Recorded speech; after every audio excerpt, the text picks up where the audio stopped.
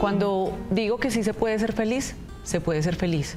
Pero así como cuando vas al gimnasio por un objetivo claro y trabajas y te alimentas bien y te esfuerzas, así mismo tienes que esforzarte para emprender este camino de la felicidad.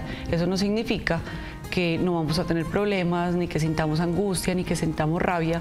Son emociones propias de cada ser humano, pero podemos controlarlas y esa es la magia de estar vivos y esa es la magia de poder encauzar cada una de las cosas que siento. Los seres humanos siempre nos hacemos muchas preguntas y estamos cuestionándonos diariamente las cosas que nos pasan. Siempre vivimos en continuo arrepentimiento o nos echamos culpas que no debemos echarnos. Y yo creo que muchos de ustedes han vivido diferentes situaciones que yo he vivido. Pérdidas de seres queridos, duelos, dificultades económicas, sí. Tusas, eh, pérdidas de seres que uno cree amar. Cada situación que me puso la vida, por duro, porque me haya hecho llorar, patalear, sufrir o reír o gozar, eran necesarias para esa evolución. El dolor es inevitable, pero el sufrimiento es opcional. La vida te va a poner miles de situaciones, pero tú tomas la decisión de cómo afrontarlas y de cómo vivirlas.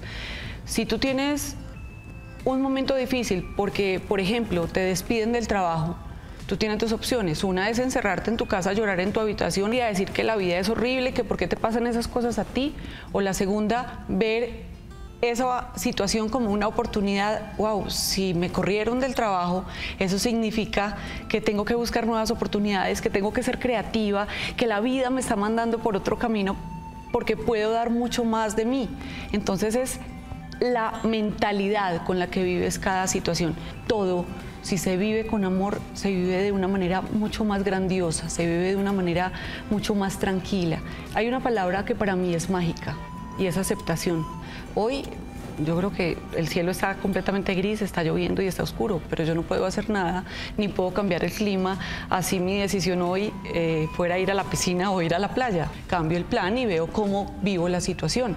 Pero si voy a estar furiosa porque está lloviendo y no puedo ir a la playa, pues imagínate, se me va a dañar el día, le va a dañar el día a la gente que está a mi alrededor y voy a sufrir. No se trata de ser positivo todo el día y decir yo soy feliz, yo soy feliz, yo soy feliz, yo soy abundante, yo soy abundante, yo soy próspero y tienes una vida que no te tiene ni cinco de contento. No se trata de eso, no se trata ni siquiera de engañarte.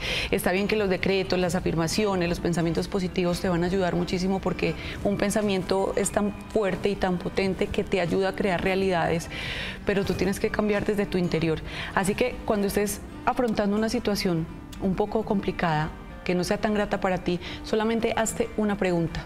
¿Para qué estoy viviendo esto? ¿Para qué la vida me lo está poniendo? ¿Qué es lo que necesito aprender?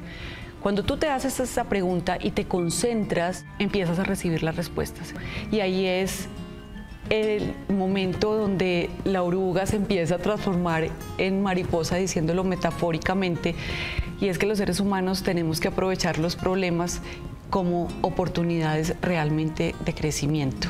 También he pasado por situaciones muy duras eh, que creí nunca poder salir de ellas, pero aquí estoy. Y yo creo que no hay nadie en este universo, no hay una persona que no haya pasado por momentos difíciles y que en este preciso momento mire para atrás y diga, wow, yo cómo fui capaz de salir de ahí, pero lo hice y aquí estoy y aquí avancé y aprendí una cantidad de cosas de eso. Y eso me hizo más fuerte, eso permite que sea un ser humano mucho más valiente en este momento de mi vida. Y les quiero asegurar que la vida se puede transformar, que qué importa los errores que se hayan cometido, si vivimos aquí y ahora, si vivimos con conciencia, la vida va a ser extraordinaria.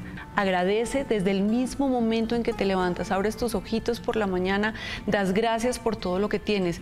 El solo hecho de abrir tus ojos y tener vida es el regalo más grande que te está dando Dios, el universo, lo que tú creas. Y todo lo que tienes, yo te aseguro que si tú coges un papel en este momento y empiezas a hacer una lista, tienes mil motivos para agradecer y no para maldecir la vida que tienes. Y esta es la llave, con toda la certeza se los digo, para abrir esa chapa que se llama abundancia.